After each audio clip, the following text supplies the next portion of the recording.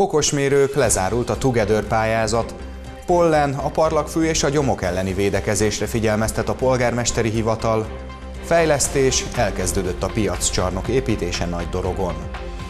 A Telepaks híradóját látják? Köszöntöm Önöket!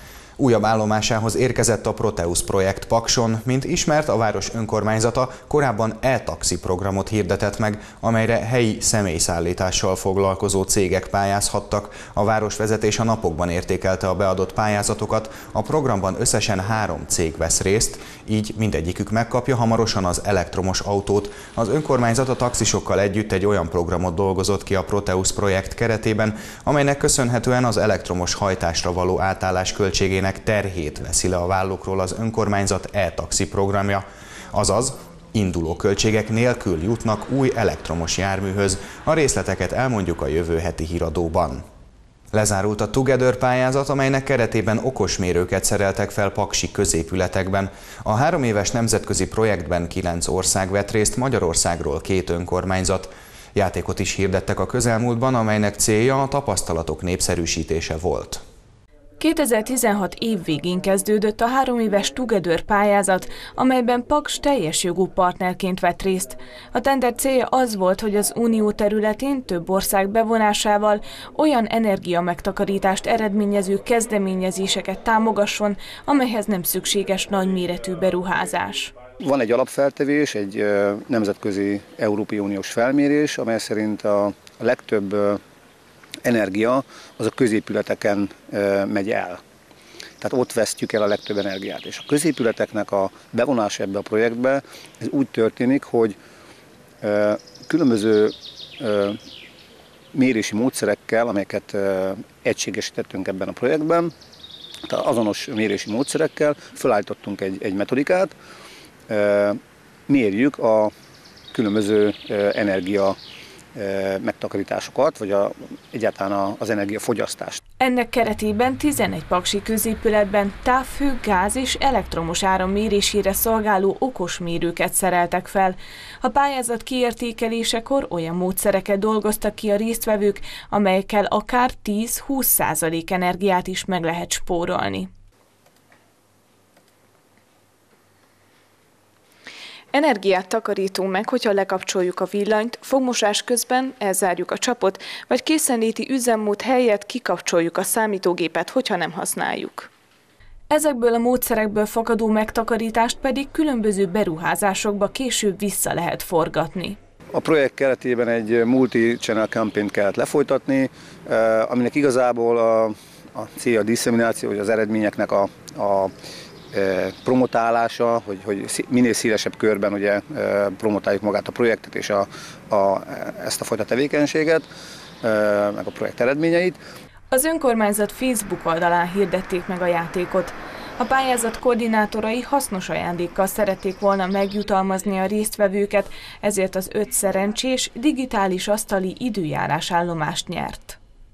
A parlagfű és a gyomok elleni védekezésre hívja fel a lakosság figyelmét a polgármesteri hivatal a közelmúltban kiadott hirdetményében.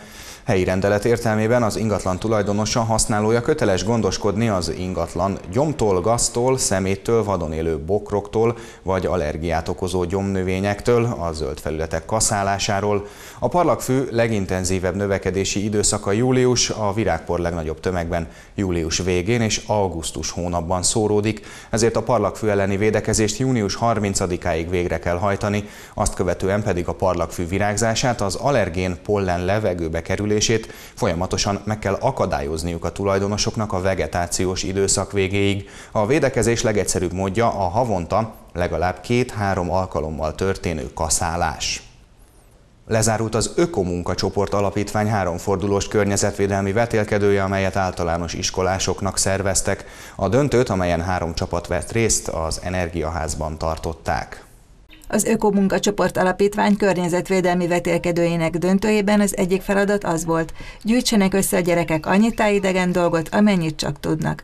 Ők azonban nem csak az alapítvány munkatársai által kihelyezett szemetet szedték össze. Az nyerte a fordulót, aki a legtöbb hulladékot összegyűjtötte. Találtunk egy műanyagnak a tetejét. Igen. Találtunk téglát. Igen. Porcelán. Igen. Nem tudom, hogy ez mi. Ez akkor már hány darab? Egy, kettő, három, négy. Ilyeneket. Jó, Ilyen hát rongyok. ezek ilyen rongyok. Először szervezte általános iskoláskorú gyermekeknek a Zöld Környezetben című vetélkedőt az alapítvány. Negyedikes, ötödikes, hatodikos és hetedikes tanuló vehet részt egy csapatban. Hát ők versenyeznek, és ennek megfelelően az ő, ö, korosz, tehát ennek a korosztálynak készítettük a feladatokat. Már volt két forduló levelező verseny, és most ez a döntő. A döntőre három csapat jutott be.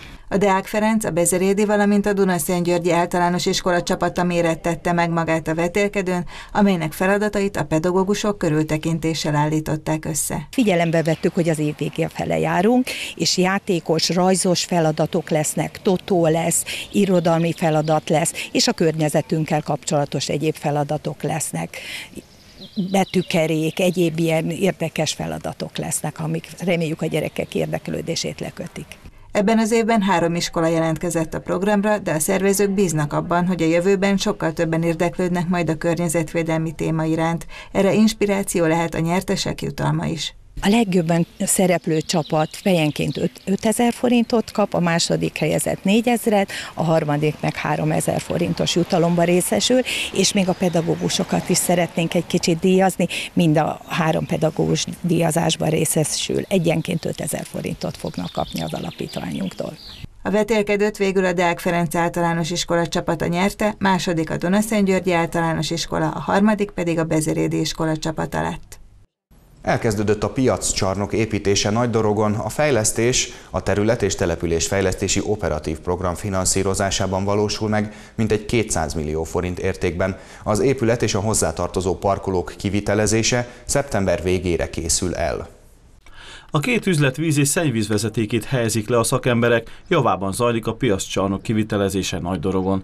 A 600 négyzetméteres építményben két fix boltot alakítanak ki, de az őstermelőknek és portékáiknak is jut hely majd bőven a tető alatt. A csarnok megépítésével régi álom valósul meg a településen, jelenleg ugyanis a 63-as főút közvetlen közelében állnak az árusok és nézelődnek a vásárlók, ami rendkívül balesetveszélyes. Kovács György polgármester, a falu sikerkovácsa kettő évig hivatalról hivatalra járt és készítette a terveket, a projekt, mint látható, a megvalósulási szakaszba lépett. A fejlesztés a terület és település fejlesztési operatív program finanszírozásában valósul meg, mintegy 200 millió forint értékben. Mindenképpen úgy gondoltuk, hogy a, a falu közepén kellene ezt a, a, a piaccsarnokot létrehozni, nem akartuk kivinni a szélére, hiszen egy piacnak ott van igazából ö, jó helye, hogy ne kelljen sokat gyalogolni a településen lakóknak, meg itt van szemben a buszmegálló, itt van a falu központja, tehát mellette egy gyógyszertár, orvosi, minden a környékben itt van, és azért gondoltuk, hogy ide tesszük. A kivitelezést egy közeli település vállalkozója végzi. A cég korábban több munkát is elnyert nagy dorogon, amelyek mindegyike kiválóan sikerült, így a közbeszerzést követően ismét a már komoly referenciával rendelkező vállalkozó vonulhatott fel a szakembereivel. 850 négyzetméteres parkoló, térkövezet parkoló, ö, körbe támfallal. A csarnok része 400 négyzetméter, ahol a, az elárusító helyek lesznek. A két üzlet az ö, 50 négyzetméteres darabja. A beruházás, ha az időjárás is engedi, legkésőbb szeptember végére elkészül, így egy korszerű, minden igényt kielégítő piaccsarnokban kereskedhetnek majd a nagydorogiak. Volt, aki 50 méterrel kerülte el a zebrát, és nem is értette, hogy mi a baj ezzel. A napokban véget ért a rendőrség zebra akciója. Ennek az volt a célja, hogy a gyalogosokat arra ösztönözzék, hogy az utat csak a kijelölt gyalogátkelő helyeken keresztezzék. A rendőrség most csupán figyelmeztette a szabálytalankodókat.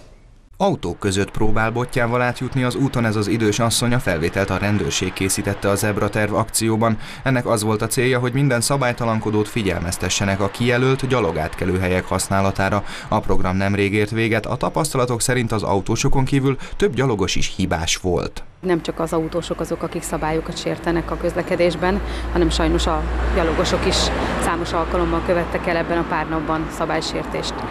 Ilyen volt például az, hogy a gyalogos, kijelölt gyalogos átkelőhelytől 50 méterre próbált meg egy idős hölgy átevickélni a Paksi piaci napon a forgalomban.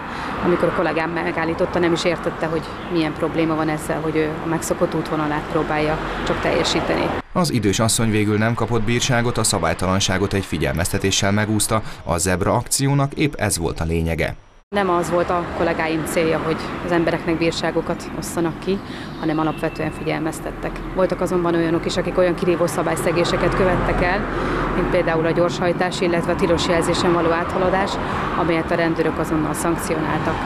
Azonban a baleset megelőzési projektnek azt gondolom, hogy számos pozitív tapasztalata is van, hiszen számos olyan állampolgár volt, aki dicsérte azt, hogy a rendőrök ezeken a helyeken magasabb számban vannak jelen, és megelőzik ezzel a baleseteket. A nyár beköszöntével egyre több kerékpárosra, rolleresre és görkorcsolyásra lehet számítani, a rendőrség szerint ebben az időszakban is elengedhetetlen a körültekintő közlekedés. Legel, elsősorban a gyerekekről van szó, akik kiszabadulnak az iskolából, és majd el fogják lepni az utakat, úttesteket.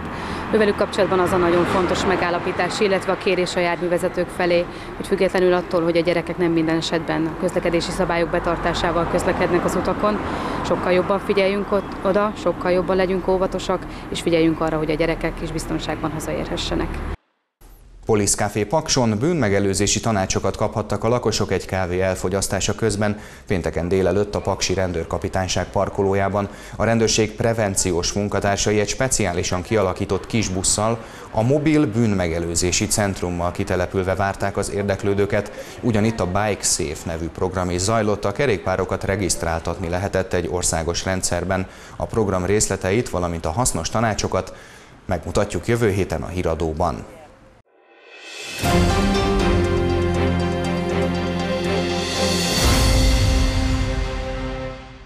A megyei első osztályban folytatja a 19-20-as bajnokságot a Paksi FC2 labdarúgó csapata. A Zöld-Fehér Klub második számú együttese a legutóbbi idént az MB3 középcsoportjában a 15. helyen zárta, így kiesett. Tököli Attila vezetőedző szerződése június 30-án lejár. 30 forduló, 5 győzelem, 11 döntetlen, 14 vereség, 25 rúgott, 42 kapott gól, 25 pont. Ez a teljesítménye számokban a Paksi FC2 MB3 középcsoportjában szereplő labdarúgó csapatának, amely a 16 gárdát felvonultató mezőben a 15. pozícióra volt elegendő. Kiesett tehát a Tököli Attila vezette gárda, a vezetőedző szinte napra pontosan egy éve vette át az együttes irányítását. A klubvezetéssel egyetértésben tavaly nyáron alaposan megfiatalodott a társaság, több 18-19 éves labdarúgó került a keretbe, akik folyamatosan játszottak ugyan, de a teljesítményük hullámzó volt, és számos győzelem döntetlenre, döntetlen pedig vereségbe fordult a meccsek lefújásának pillanatában. A szezont követően Tököli Attila és Haraszti Zsolt értékelte a látottakat. A, a csapatok nagy része nem próbált focizni. Tehát mindenki körülbelül arra ment, hogy majd megkontráznak minket, meg fiatalok úgyis fognak hibázni, és sajnos ebbe igazuk is lett. Mert próbálkoztunk, támadgattunk, azonban hogy nagyon kevés olyan mérkőzés volt, amikor, amikor csak egy-két lehetőségünk volt. Számtalan olyan, olyan mérkőzés volt, főleg a, a tavasz folyamán, de ősszel is, amit, amit még egyszer gólokkal kellett volna megnyernünk, és, és ugye mi nem tudtunk betalálni, de, de arra meg képesek voltunk, hogy, hogy összehozzuk azt, hogy az ellenfél gólt lőjön. Azt gondoltam, hogy akármilyen eredmény születik, ebből az egészben akkor is a fiatalokat kell erősítenünk, meg, meg előre tennünk, de az biztos, hogy arra nem számítottam, hogy kiesünk. Tehát én abban azért biztos voltam, hogy miben fogunk maradni. Kellemetlen ez a helyzet, de annyiban meg nem, hogy úgy gondolom, hogy ez az újjáépítésnek az időszaka. Mindenképpen lesznek változások, és valószínű, hogy a 17-18-19 éves játékosaink fognak játszani ezentúl a tartalékban. Az ügyvezető Tököli Attila pozícióban maradásáról szűkszavú, de annál lényegre törőbb választ adott. A vezetőedző szerződése 2019. június 30-án lejár. A Paksi FC 2 szezon értékelését a Tököli Attilával és Haraszti Zsoltal készített bővebb interjút jövő keddi Lelátó című sportmagazinunkban láthatják.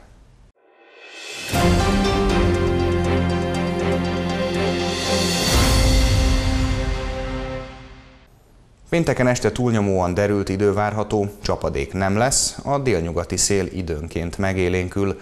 A legalacsonyabb éjszakai hőmérséklet 17 fok körül alakul. A hétvégén gyengén felhős, napos idő várható, csapadék nem lesz, az északnyugati szél megélénkül, helyenként megerősödik, a legmagasabb nappali hőmérsékletek 28 fok körül alakulnak. A híradó végén megköszönöm figyelmüket, további jó tévézést és kellemes hétvégét kívánok, viszontlátásra!